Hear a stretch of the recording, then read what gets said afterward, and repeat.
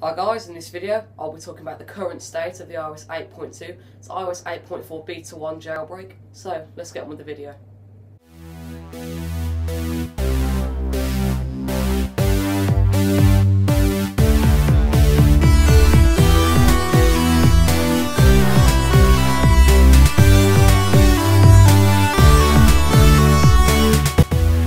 So, the video by iOS hacker Stefan Esser, also known as Ionic, has been going around online in the past week.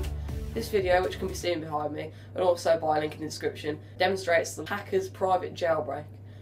This jailbreak was achieved on the first beta of iOS 8.4 on an iPhone 6 Plus, but like I said before, this is the hacker's private jailbreak, and he's not planning on releasing it anytime soon, unfortunately.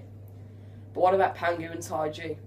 These two jailbreak teams claim to be working on a public jailbreak and have been since iOS 8.2, but iOS 8.3 introduced many security fixes which inevitably patched the exploits utilised by the two teams, making the jailbreak more difficult to complete.